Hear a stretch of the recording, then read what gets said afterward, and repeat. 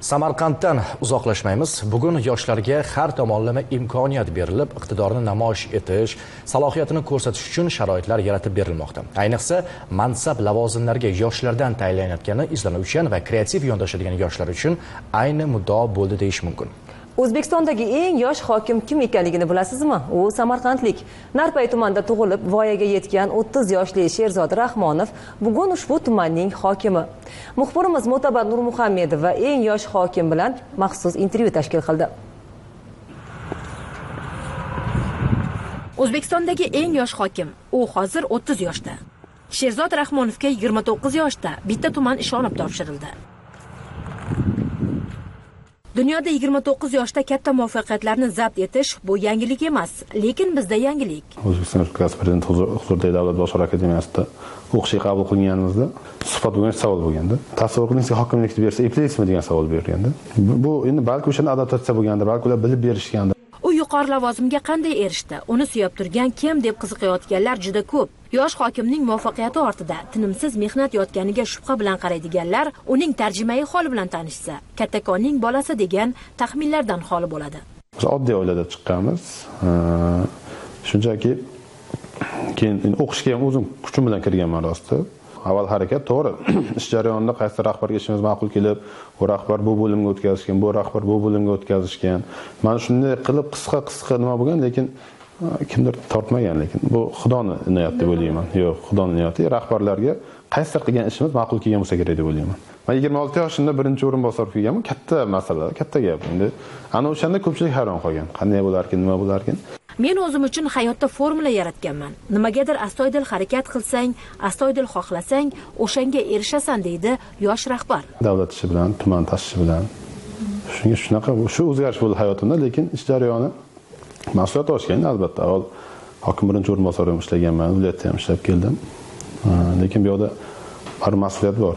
Baribir halovatda sal nima bo'ladi behalovaatroq bo'lasiz. Qayerdadir sel uchyaptimi qayerdadir yomg'ir yog'ayotgan bo'lsa endi bizda tog'li yo'llar bor sel toshyaptimi ekan yo bir boshqa vaziyat yoki jinoyatchilik odamlar tinch bo'larkan kimdir jinoyat qilib qo'ymaydimi? Rahmonov hayotidagi barcha zinalarga vaqtidan oldin qadam qo'ygan. Olti yoshda maktabga borgan o'n olti yoshda samarqand iqtisodiyot va servis institutiga byudjet asosida o'qishga kirgan. Yigirma yoshda institutning qizil diplomi qo'lida edi. Boy student bo'lmaganmanda boy talab bo'lmaganman. O'rta hol talab bo'lganman. O'sha vaqtda ham balki iqtisodchi bo'lganim uchun haftalik pullarni ekonom bilan ishlatardi. Keyin yakshanba kunlari keyin nima ta'til vaqtlar ishlaganman bozorda ishlaganman. Savdo qilganman bozorda. Talabalik ham sherzod uchun oson kechmaganini aytadi u. Otadan erta ajralgan yigit bozorda meva sotgan paytlari ham bo'lgan. Oddiy qishloqda bolasi bo'lganman o'sha otam uchinchi kursligimda vafot etgan. Og'ir kasallikdan ko'p yillik og'ir kasallikdan vafot etgan. O'shanda bir yolg'iz o'g'il bo'lganman oilada tong saharda e, quruq mevani nimasi bo'lardi? Sev bozorda e, ikkida chiqib ketardim. Kechqurun ikkida lekin piyoda ketardim. Chunki kechki taksilar qimmat bo'lardi. E, borib quruq mevani olib sovuqda issiqda shuni olib chiqib bu yoqqa jo'natib onam to'g'risi bozorda ham savdo qilgan o'qituvchi bo'lganlar lekin o'qituvchilikda ham nimasi ko'p oylik katta bo'lmay qolgandan keyin oilani boqish uchun bozorda ham savdo qilgan bugun narpayda unga ishonch bildirayotganlar ko'p. Yoshlarga ham imkon berib ko'rish kerakligini o'zbekistondagi eng yosh hokimning bajarayotgan ishlarini tumandagi islohotlarni kuzatib ishonch hosil qilasiz.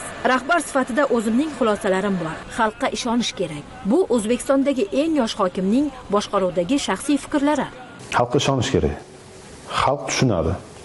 Xalq harakat qilsangiz xalqqa e, to'g'ri boshida qisqa tushunmovchilik bo'lishi mumkin. Masalan aytyapmizku kimdir noliydi xalq o'zini tushunmaydi unaqa.